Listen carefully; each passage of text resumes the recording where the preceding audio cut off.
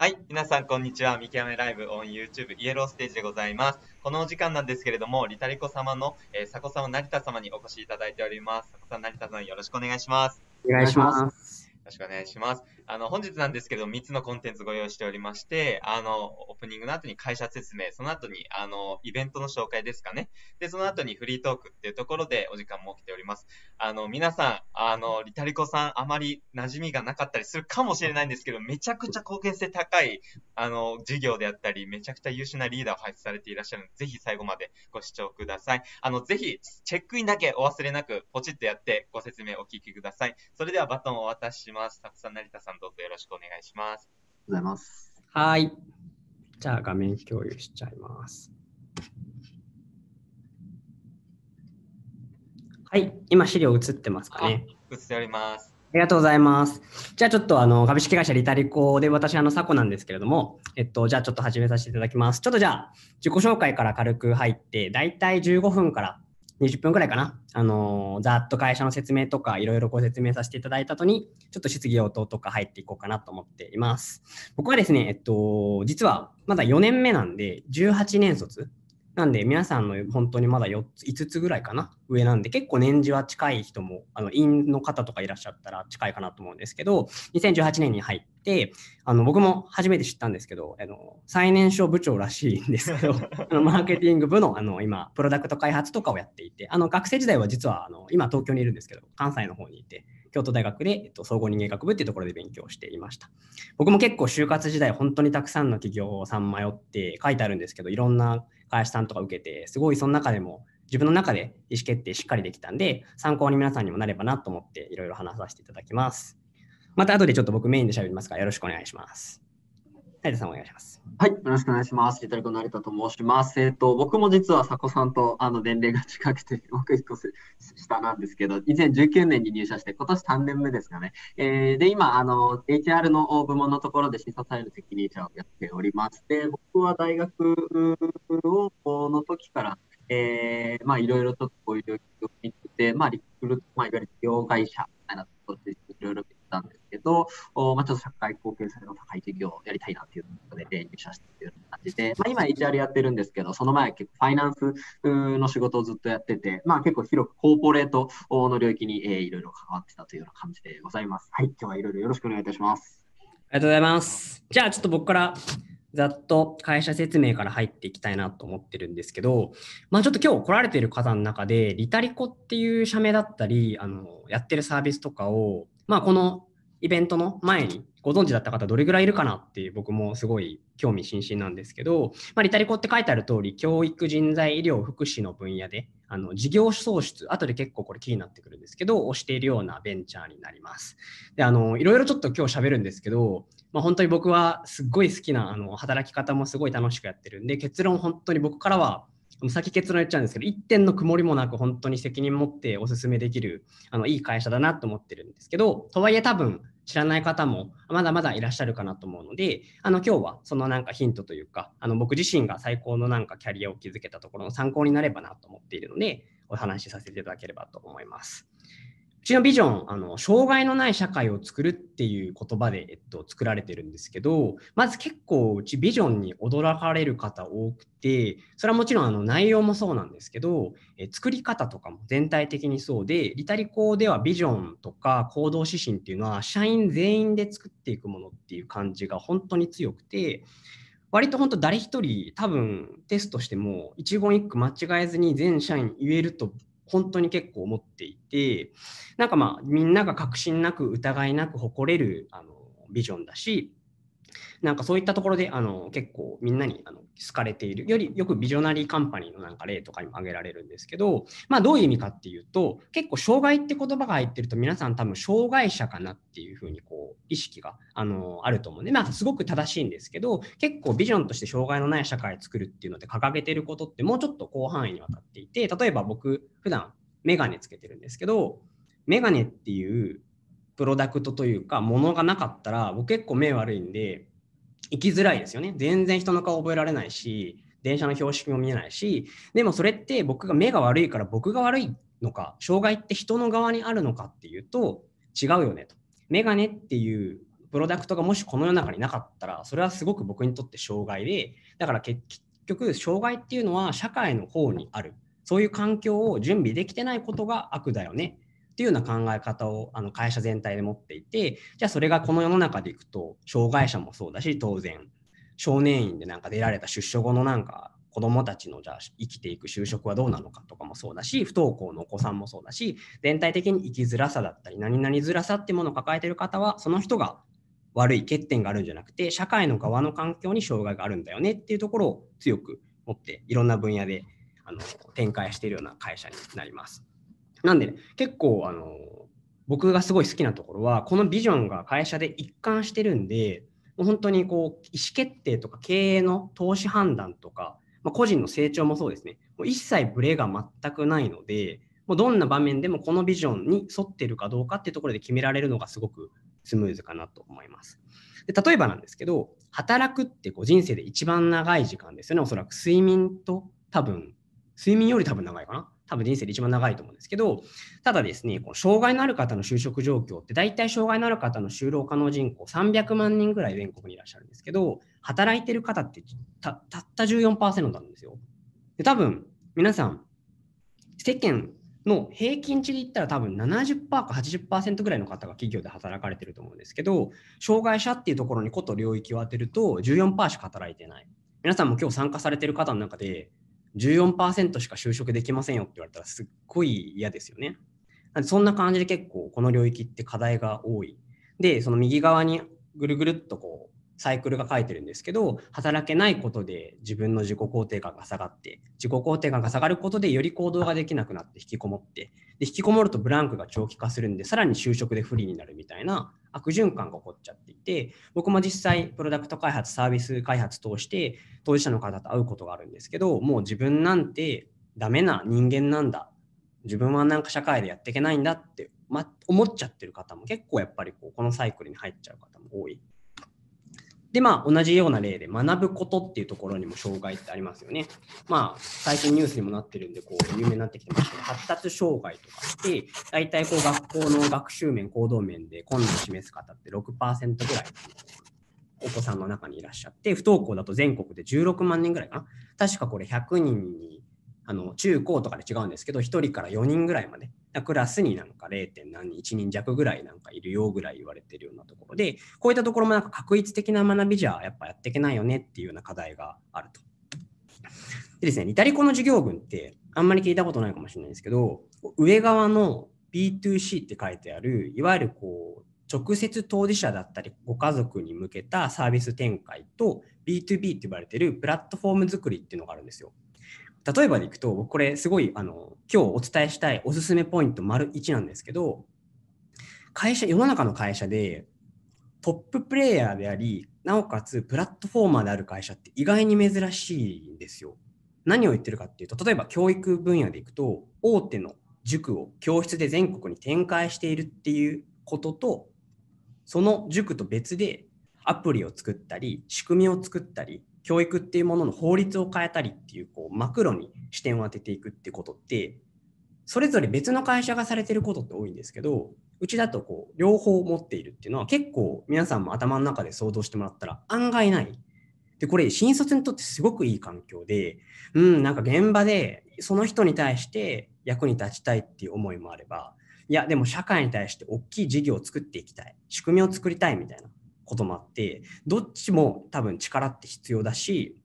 どっちも経験することで現場に行って企画してみたいなことをすごい繰り返せるんでこれはすごいこううちの会社の特徴かなと思っています。なんでこうよく R&D とか呼ばれてるんですけど上のこう三角形でいくとインターネット事業で大きいビッグデータ獲得して、そのデータをもとに得られた仮説示唆を研究開発して、店舗事業で実践する。実践して得られた学びを普及して仕組みにしていくっていう、このサイクルですね。これでどんどんどんどん提供してる人数がますますこう年々増えていくし、横もそうですね。今、障害福祉っていうとこから順番にサービス展開してるんですけど、学校、保育、介護福祉、企業、医療っていう分野にどんどんどんどんこう事業領域も広がっていくんで、特にこうこの領域だっていうことを生まれてからなんかずっとこうこだわりがある方もそうですけど特にこうまだやりたいことが見つかってない方でもこう社会にインパクトある事業を起こしていきたい、活躍したいっていう方にとっては、すごいこうこの展開の仕方とかは、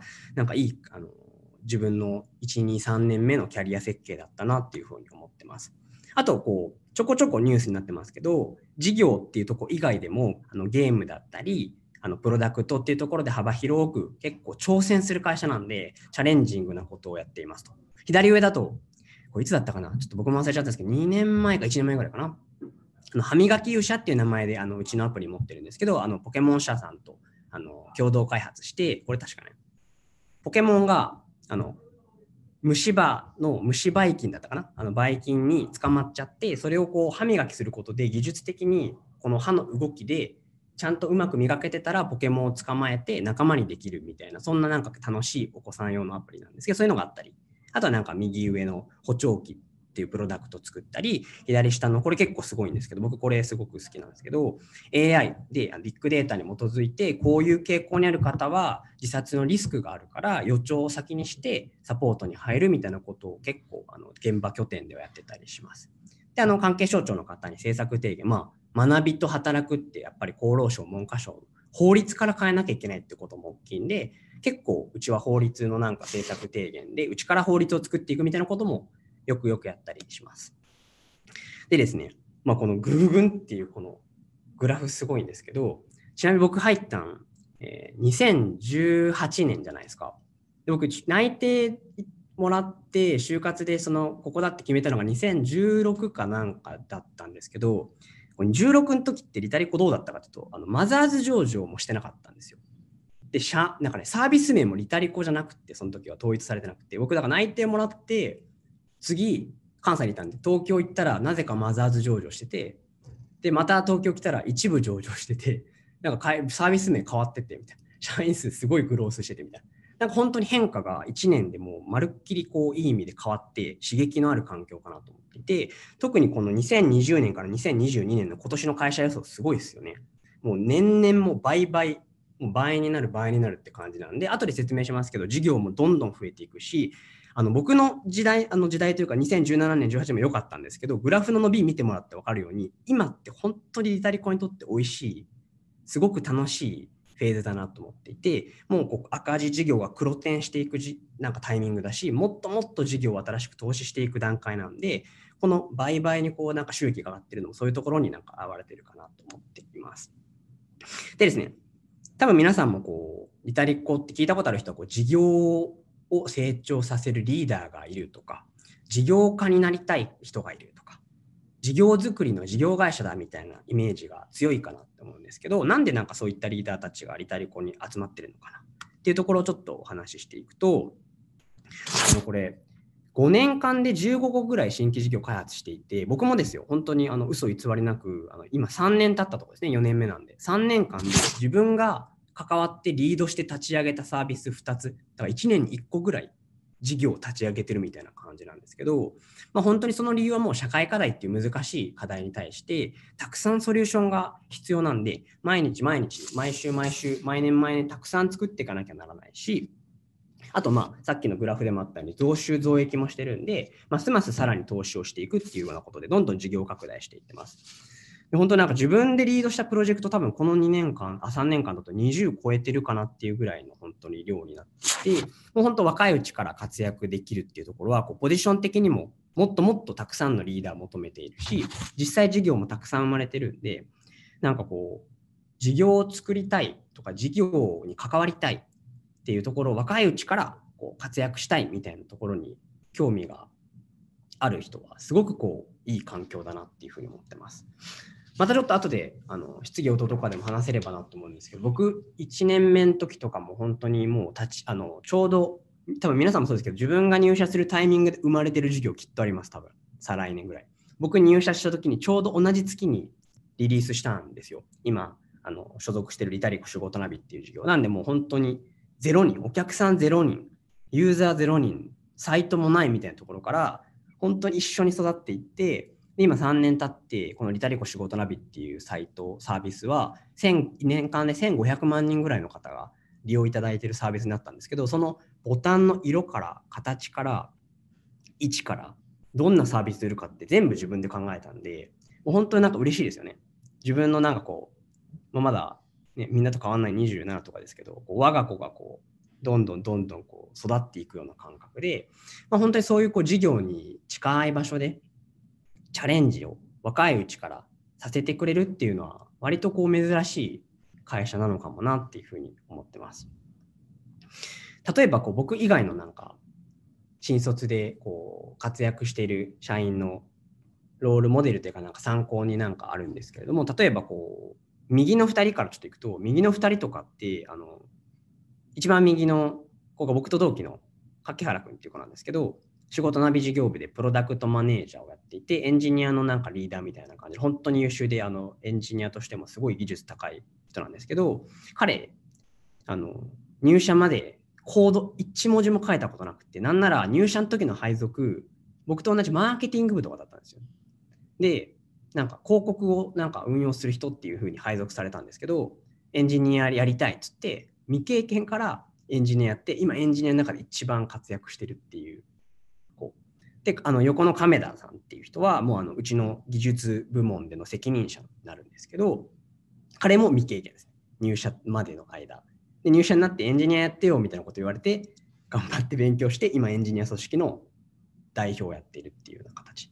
で、玉谷さんってあの左から2番目あのいるんですけど、この方はなんかリタリコファンドってあんまり多分あのイメージないかもしれないですけど、うちの方であの CVC、コーポレートのベンチャーキャピタルで、こう、たくさんチャレンジしたいって熱い思いって社会課題の領域っていっぱいあるじゃないですか。そこでこうチャレンジしているベンチャーのあの会社さんとかにうちからこう投資してお手伝いするみたいなファンド事業が実は今年から始まっていて、そこのなんか責任者されていたり、あの、コアシコアシっていうものだったり、こうマーケティングチームのリーダー、彼女は2年目かな ?3 年目かな？僕のあの後輩なんですけど、東京大学出られてて、まあ、実際マーケティングチーム自分で引っ張ってたりしてて、結構本当に幅広いキャリアの活躍の仕方があるっていうような会社です。で、なんかなんでそんな新卒活躍できるの？本当かよみたいなとこあるんですけど、あの、実はうちの社長が、あの、長谷川っていうんですけど、新卒で入ってるんですよ。で2年目だったかな ?3 年目だったかな？新卒で入って、2年目か3年目に社長になったんですよ。よくわかんないですね。よくわかんないんですけど、あのまあ、それだけなんか活躍してたんですけど、だから自分自身が社長になって2年目、3年目で、それで事業も思いっきりグロースさせた経験があるんで、新卒で入った若手のリーダーをちゃんと育成していきたいっていう思いが会社全体あるんで、すごくこう、ポジション的にも、チャレンジ的にも、若いうちに経験するには最高の環境だなっていうふうに思ってます。で、だからこそ、今、リタリコっていう会社が増収増益ですごく伸びてるし、面白い領域だし、チャレンジングでもまだまだ難しいこと、余白がたくさんあるんで、他社さんからもすっごいこう、たくさんのビジネスリーダーが来ていただいてて、例えばこの、この方、おっちゃん、リクルートのあの人なんですけど、リクルートの元執行役員だったり、まあ、SMS からこう事業責任者が来たり、この人 M3 の取締役やってた人だとマッキンゼとか、いろいろなんか N 校の副校長とかなんか結構いろんな方がこの領域を確実に伸びるし確実に成長できるって分かってるからこそ、ね、大手ですごい会社さんの取締役とかやってても、それをなんか捨ててでもここの会社に入りたいみたいな形で、しかもこの8人の大半が今年去年とかに参画してくれた人たちなんで、まさにこの今のフェーズ、すごいこう盛り上がってきてるなっていう風なところです。なんでまあ、バーっといろいろ喋ったんですけど、結構こう、リタリコっていう会社、これまでなんか知らなかった方も多かったかなと思うんですけど、本当にこう、若いうちから、まだこう、やることが明確に決まってない人でも、若いうちから成長したい、活躍したい、チャレンジしたい、あと裁量権もこう、ガバッともらって、自分でハンドル握って世の中に役立つことを生み出していきたいっていう方にとっては、本当に大丈夫かなっていうぐらいこう豊富ななんかリソースの中で自分でこうチームを動かして会社を変え社会を変えていけるっていうところが特徴な会社なんでまたこの後でもいろいろ詳細話しますけれどもぜひちょっとチャレンジいただければなというふうに思っています。はい。ここまでがちょっと会社説明になるんですけどじゃあ成田さんちょっと引き継ぎますね。はい。えー、でちょっとここまでの話でですね、興味持っていただいた方へのご案内っていうところなんですけど、ちょっと来月、あの、今お話しいただいた佐古さんと、ちょっと途中に話し合った小橋さんのお二人にですね、ちょっと座談会みたいな形で、ちょっと小規模にはなってくるんですけど、えー、もうちょっと詳しくですね、まあ、具体的にお客さんとどういう瞬間にやりがいを感じたかみたいなエピソード、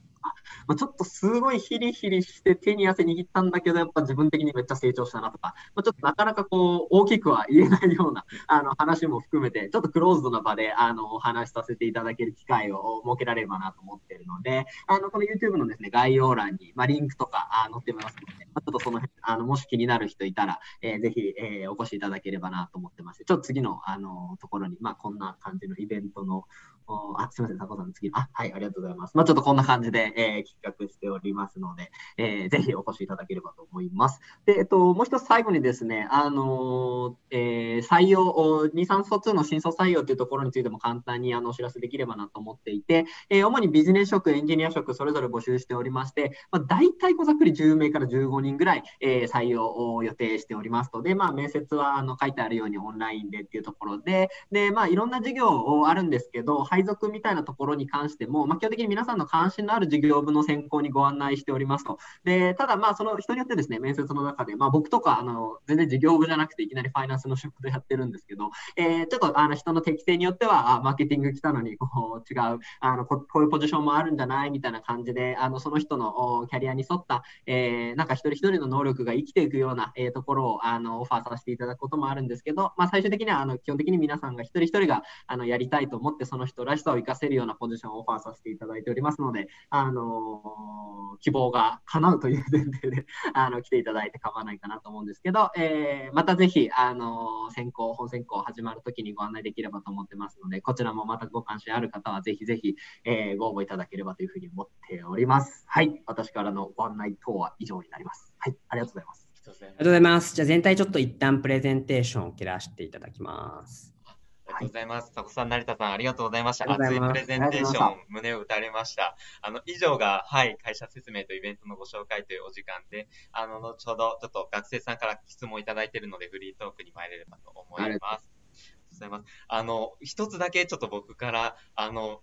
熱いプレゼンテーション、ビジョン、すごくビジョンに対して熱いなっていうふうに感じたんですけれども、僕が就活生の立場だったら、あんまりこう、障害のあない社会を作るみたいなところにあんまり共感できなかったりする学生さんもいるんじゃないかなっていうふうに感じてしまったんですけど、そういうなんか今の段階で強い共感がなくても全然大丈夫だったりするんですかご活躍とかできたりするんですか？僕から何か？僕から出る。タコさんから、はい。はいはい、そうっすよね。まあめっちゃ僕そうだと思う。あの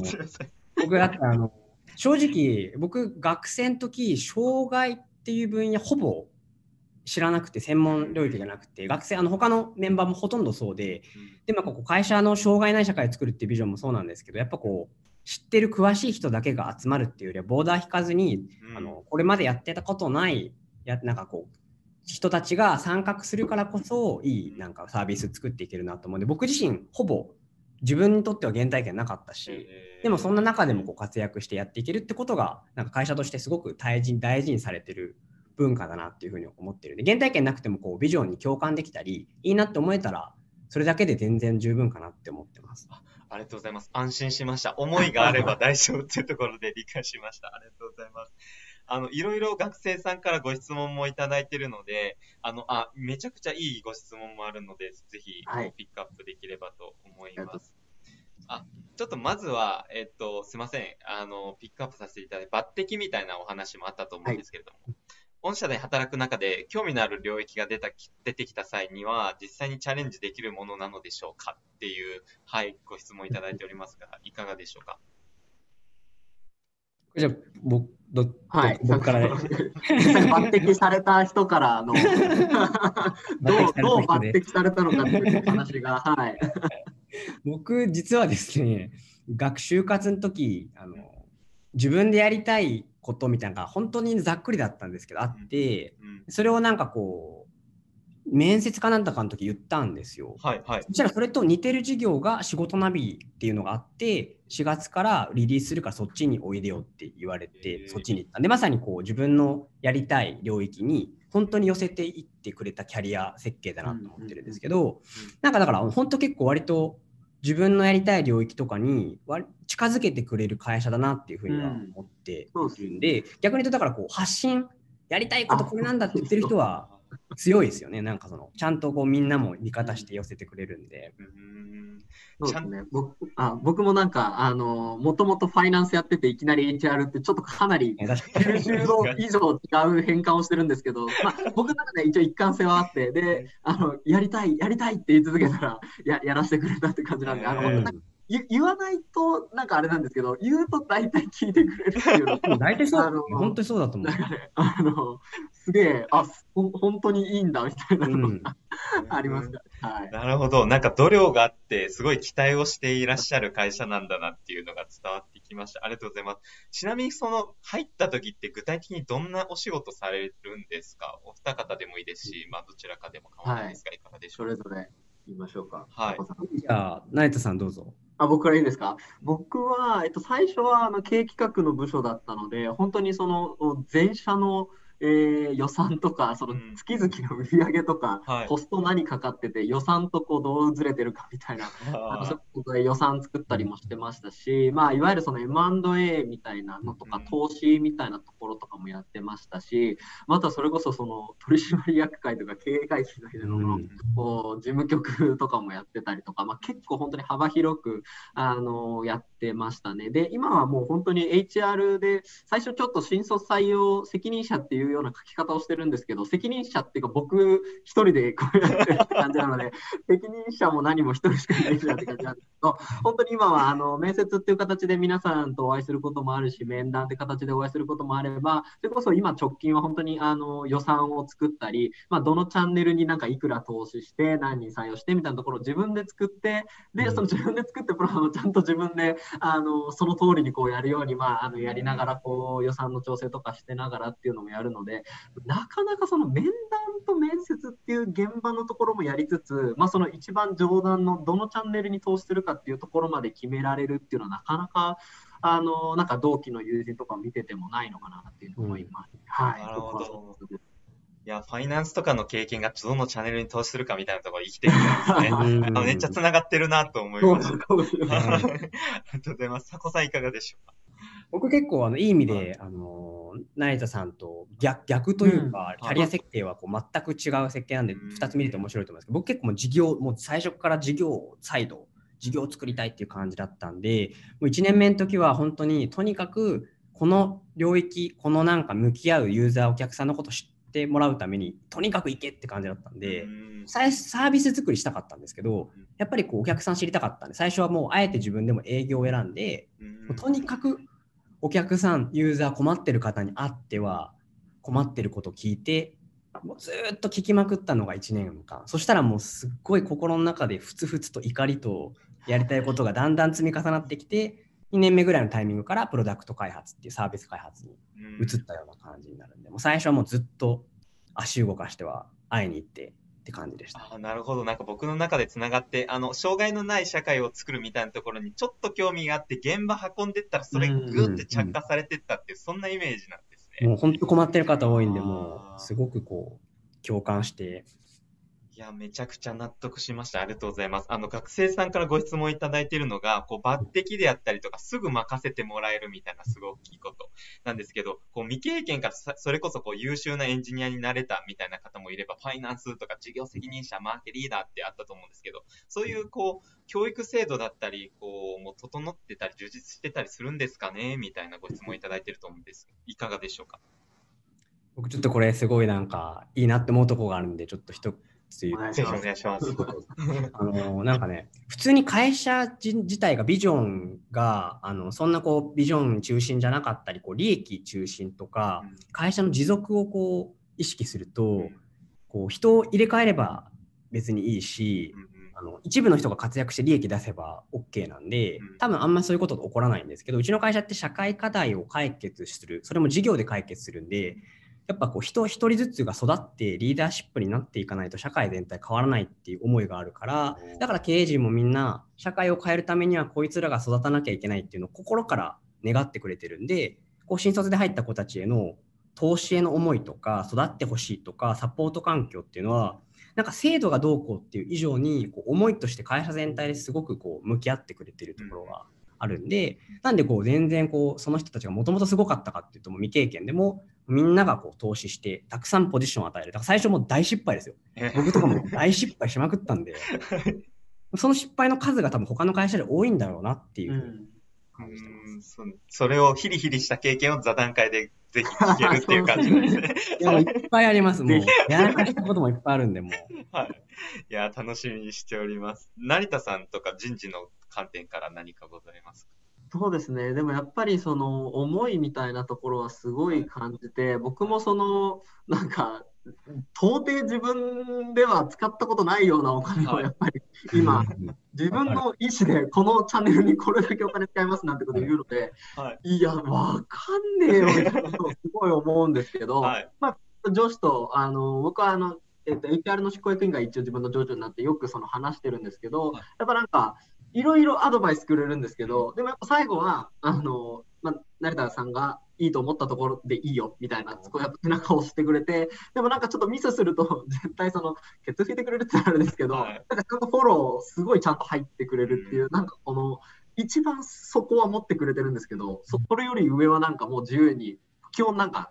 本当に正しいと思ったようにやっていいよっていうふうに思ってくれる、なんかその信頼関係とかっていうのが、なんか本当に皆さん一人一人持ってるっていうので、なんか制度っていうより、なんかそこにいる人たちの思いとかによって支えられてるっていうような印象が僕もすごい強くありますね。はい。なるほど。結局、研修とかじゃなくて自分で決断した経験が成長につながるみたいなところがあるかもしれないですうんよね。なるほど。理解しました。ありがとうございます。めっちゃいい質問が来ているので、ぜひピックアップできればと思います。あの、社会課題に関わることを軸に就活をしているんですけども、社会課題をビジネスすることの難しさを感じていますと。うんあ、これはそうですよね。あの、収益化の難しい分野で社会貢献性と収益を両立するためにどのようなマインドを持つべきとお考えでしょうかうんうんというご質問ですが、いかがでしょう？どちらでも。これはもう佐藤さん。ありがとうございます。ちょっとね、質問してくれた人、あのありがとうございます。まさにこれ、本当に僕もずっと学生の時困ってたことだし、多分世の中でたくさん困ってる方いるんじゃないかなと思っていて、僕はあの学生だとやってたんですよ。軽くちょっとだけ本当に学生の時。でもその時もやっぱりこうなんか悩んだりしたことあったんで、で会社入ってこうそれで思ったことは、あのよく例えで、靴履いてない人に靴を売りに行く事業だみたいなこと言われるんですけど、このマーケットって結構、そもそも他の会社さんだと、こう、マーケットがあって、そこでパイをどう取り合うかみたいな感じで、こう競合に勝ってやっていくみたいなビジネスの主流なんですけど、僕もそういう考え方だと、社会課題ってお金にならないってよく言われるし、難しいなって思ってたんですけど、困ってるってことは絶対にその困ってる課題を解決すれば、それはその人にとって価値になるんで、ただそのマーケットが今この世の中にないから難しいように感じるし収益化できないと思ってたんですけどだからこの会社の面白いところは自分でマーケットをまず作ってだから僕さ携わった2つのサービスどっちもめちゃめちゃしあの競合誰もいないんですよ。うん、でも困ってるんでやればもうみんなもうお金を払ってでも助けてほしいっていうお客さんなんか当事者の方もいらっしゃるんでだから1点なんかとこう今まだなかったところからマーケットを作ってそこで投資してサービス作っていくってところが他のなんかサービスと違うとこかなってそれによってこう収益がちゃんと生まれるし持続可能な社会作っていけるんだなって思ってます。うん。いや、ありがとうございます。あの、ブルーオーシャンというか、いわゆるビジネスまさあそこをどんどんどんどん新しく事業を作っていくっていうところが御社の一番の強みっていう感じなんですかね。いや、理解しました。ありがとうございます。ちょっとそこに付随するかもしれないんですけど、またご質問いただいておりまして、あの、障害者福祉領域は公的な制度が一定整っているかと思います。また NPO などの活用も活発化しておりますが、民と官の違いとしてはどのような点となりますかと。またその法人となっているため利益を出すという点はあるかと思いますが、それ以外に何かあればご教示いただきたいです。これはすごいいい質問ですね。めっちゃめっちゃいい質問めっちゃいい質問。このまま喋っちゃっていいですか？あぜひ。まず、えっと、民と官のとこで僕的には、えっと、まあ、同じか、ほぼ同じですけど、2点結構、実際、感肌感で違うなと思ったことがあって、1点はもう完全にスピード感ですね。うんもう、うちだと、やりたいと思ったこと、次の日にはボタンの色変わってるし、機能付随されて、実装されてる。あのだデスクの横にエンジニアとデザイナー座ってるんで、もう速攻変えれるっていうところが、もう圧倒的に違いますね。うんで、もう一個はもう同じなんですけど、変えれる幅とかも法律とか公的なルールに縛られた中でやるか、自社でシステム作っていくかっていう違いなんで、もう幅とスピードが全然違うなっていうふうに思ってます。なるほど。ありがとうございます。このスピード感っていうところと、あと利益を出す点はあるかと思いますが、っていう、あ、まあ、そうだそうあ、だ。そうです。あの、それ以外に何かありますか？違いはっていうところで、ぜひ。ありがとうございます。はでも本当さっき言ったスピード感とかもそうなんですけど、えっと、官って、官の中で官の、例えば法律とか政策提言とかを変えていくことって結構難しかったりするんですよね。うん自分の中で。なんでこう民間からできることって利益を出す違いもあるんですけど、仕組み作りを外側からちゃんと変えていくっていうところも僕からしたらすごい大きく違うところだなっていうふうに感じたりしました。あとはもう本当に当事者の方と距離が近いってところも大きいですね。うん。いや、具体的にありがとうございます。めちゃくちゃ深いご質問いただいてたので、あの、気づいたら、すいません、もうそうですね30秒前ぐらいになってしまいまして。3時間ぐらい行きたいですね。行きたいですね。めっちゃいけるなと思いました。あの、ぜひ皆さんチェックインして、あの、はい、あの、少人数座談会ぜひご応募いただければと思います。ぜひぜひ、ちょっとまだまだ喋り足れてないことが。はい、人失礼いたしました。では改めてちょっと学生の皆さんに対して、あの、イベントのご説明とメッセージあれば、ぜひお二方からよろしくお願いします。はいさんどうぞ。ありがとございます。はい、じゃあ僕から、あのーちょっとまあメッセージ込みになってくるんですけど、さあのーやっぱファーストキャリアって本当に大事だと思うんで、なんかどんな人に価値提供したいのとか、なんかどういう環境で働きたいのっていうところについて、なんかこう、誰かの言葉じゃなくて、なんかそれこそ、まあ座談会とか、えーそういうなんか一時情報をなんかちゃんと持って自分の言葉で、あの自分にとって何が大事かっていうところをよく考えていただければなと思うので、なんか僕も採用担当として、あの、それに役立つ機会を設けられればなと思うので、まあ、座談会含めて、まあ、いろんな会社の、あの、そういう一時情報取りに行く機会、最大限活用していただければなというふうに思っております。えーいろいろ就活頑張ってくださいというところで、はい。熱いお言葉ありがとうございます。本当に一時情報が気持ちを動かすと思うんで、うん皆さんぜひ足ぜひ座談会に。足運んでください。はい。ぜひ皆さんチェックインだけよろしくお願いします。あとアンケートもギターのないご意見お待ちしておりますのでよろしくお願いします。改めてリタリコ様より佐古様、成田様にお越しいただきました。お二方本当にありがとうございました。たくさん皆さんもありがとうございました。本当にお時間いただいて。ありがとうございました。では皆さんお疲れ様です。ありがとうございました。はい。ありがとうございました。